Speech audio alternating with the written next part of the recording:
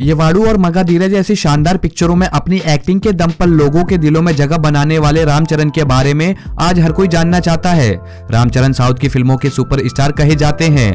बता दें कि ये साउथ की फ़िल्मों के सुपरस्टार चिरंजीवी के बेटे हैं। रामचरण ने अभी तक साउथ की कई फ़िल्मों में काम किया है और इनकी अधिकतर फ़िल्में सुपर डुपर हिट साबित हुई है। और रामचरण साउथ इंडस्ट्री के सबसे ज़्यादा कमाने वाले एक्टर्स में से एक है। इस वीडियो में इनकी लाइव स्टोरी और लाइफ के बारे में बताएँगे। तो आप इस वीडियो को पूरा ज़रूर देखिएगा। अगर आपको रामचरण पसंद है तो इस वीडियो को लाइक ज़रूर कर दीजिएगा। तो चलिए वीडियो स्टार्ट करते हैं।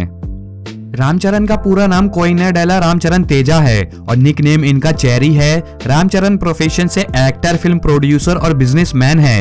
रामचरण का जन्म 27 मार्च 1985 को चेन्नई, तमिलनाडु में हुआ और 2022 के हिसाब से सैतीस साल के हैं। रामचरण ने स्कूलिंग पद्मा शेषाद्री बाला भवन चेन्नई से की और ये फिर लॉरेंस स्कूल लवडेल चले गए, जिसके बाद रामचरण ने the Hyderabad public school, Begumpet में एडमिशन लिया और स्कूलिंग कंप्लीट की और फिर इन्होंने सेंट मैरी कॉलेज हैदराबाद से ग्रेजुएशन कंप्लीट करी। दोस्तों, रामचरण एक फिल्मी बैकग्राउंड से आते हैं, जिनके पिता और दादा एक्टर रह चुके हैं और रामचरण एक्टिंग की दुनिया में आने से पहले एक ऑटोमोबाइल इंजीनियर बनना चाहते थे।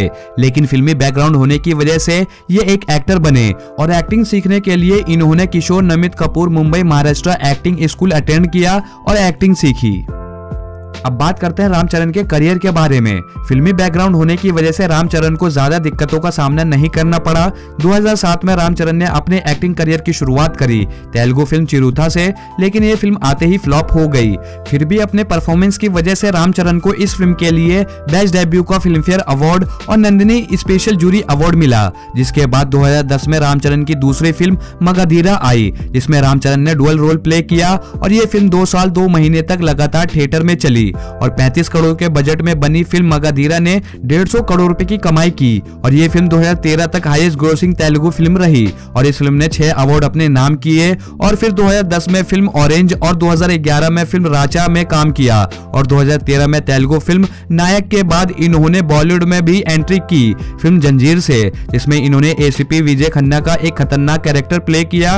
और 2014 में रामचरण की दो तेलुगु फ़िल्म आई और ऐसे ही रामचरण ने कई फ़िल्म में काम किया है। जिनमें से ज़्यादा हिट रही तो वहीं कुछ फ्लॉप भी रही। और उनमें से कुछ फ़िल्मों के नाम हैं। Bruce Lee the fighter, Dhruva, Rangasthalam और विद्याया विद्या रामा दोस्तों 2022 में रामचरण की दो फ़िल्म आने वाली है, जिनके नाम है आचार्य और ट्रिपल आर लेकिन कोविड की वजह से ये फ़िल्म पोस्टपोन हो गई। अब देखते ये है कि ये फ़िल्म रिलीज़ कब होती है। अगर ये फ़िल्म रिलीज़ होने के बाद आपने ये फ़िल्म देख ली है तो आप हमें कमेंट करके ज़रूर बताना फ़िल्म आपको कैसी लगी। दोस्तों 2016 में रामचरण ने खुद का एक प्रोडक्शन हाउस ओपन किया, जिसका नाम इन्होंने कोनी डेला प्रोडक्शन कंपनी रखा और 2017 में पहली फ़िल्म खिलाड़ी नंबर 150 प्रोड्यूस करी और इनकी खुद की एक पोलो टीम भी है, जिसका नाम Ram Charan Hyderabad polo riding club है। दोस्तों, आप हमें कमेंट करके ज़रूर बताना, रामचरण की कौन सी फ़िल्म आपकी सबसे फेवरेट फ़िल्म है?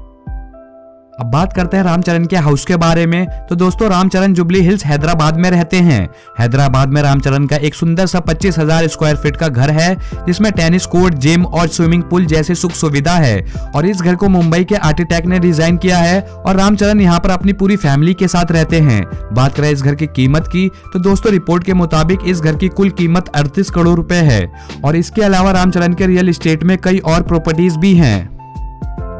चलिए मिलवाते हैं आपको रामचरण की फैमिली से। तो इनके पिता का नाम है चिरंजीवी, जो कि एक एक्टर और पॉलिटिशियन है, और इनकी माँ का नाम है सुरेखा।